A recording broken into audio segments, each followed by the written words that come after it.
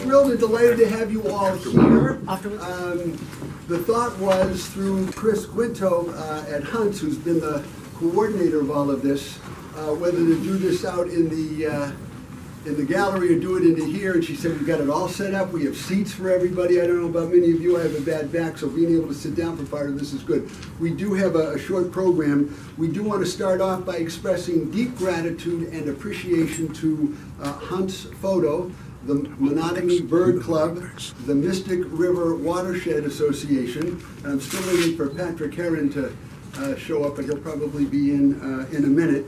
Uh, Of course, we have many of the award-winning photographers here with us, and we're thrilled to have them all here, and of course, our speakers uh, as well, so thank you all for coming.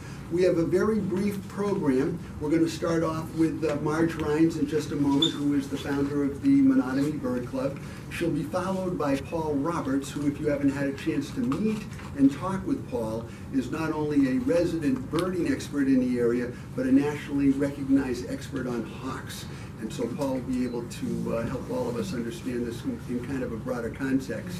And then Patrick Herron from the Mystic River Watershed Association uh, will also um, uh, join us and speak for a few minutes about the work that's going on to protect, restore, protect, and maintain the entire watershed area, which serves roughly just over 20 communities.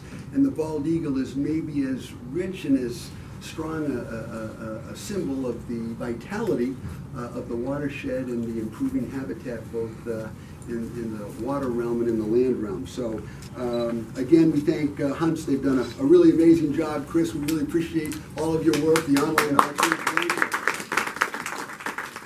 So Marge Rhines is the founder of the Menotomy Bird Club, and she's been at the helm since the founding for, I don't know, maybe 20 years, she will tell you.